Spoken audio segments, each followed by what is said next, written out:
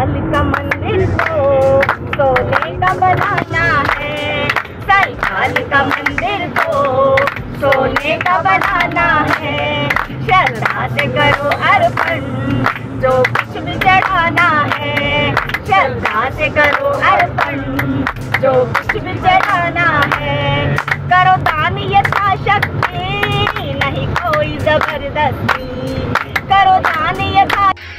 जय माता दी बाबू सब लोगों को। जैसा कि आप लोगों को पता है, श्री सिद्धपीठ साई काल का मंदिर का निर्माण हो रहा है और आप सबके सहयोग से और महामाई की कृपा से मंदिर जो है वो लगभग लगभग पूरा हो चुका है। बस उसकी फिनिशिंग का कार्य बाकी है, पत्थर लग रहे हैं, बिजली का काम बाकी है, गेट वगैरह लग रहे हैं और साथ में दरवाजे लगने हैं। जो जो लोग सहयोग करना चाहते हैं, वो लोग सहयोग के लिए आ गए हैं क्योंकि अब बहुत ज़्यादा आवश्यकता पड़ रही है। सबको है कि जितना कार्य हमारा कंस्ट्रक्शन के टाइम पे होता है, उतना ही जो कार्य है, वो हमारा फिनिशिंग के टाइम पे भी रहेगा आपको जो सारी डिटेल है, वो सब स्क्रीन पे नज़र आ जाएगी। जो लोग सहयोग कर सकते हैं, ज़रूर करें। जो नहीं कर सकते हैं, चाहे एक रुपया करें, लेकिन करें ज़रूर।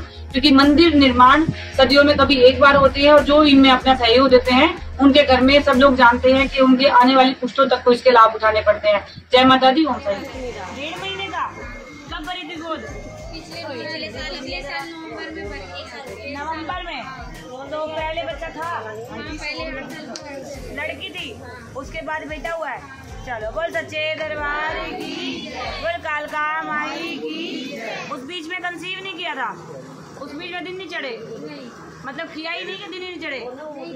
किया। नहीं था। लो भाई मम्मी ने अपना फूल खिलाया है। ये लांगुरिया और भैरवाए हैं भाई। ओए गधे। कढ़ाई दे दी इसकी जय माई जी लो भाई, मम्मी ने फूल खिलाया है। मम्मी ने चड्डी पहन के फूल खिला दिया। बाबू। बिना चड्डी के खिलाया था, चड्डी तो हमने पहनाई ना भाई।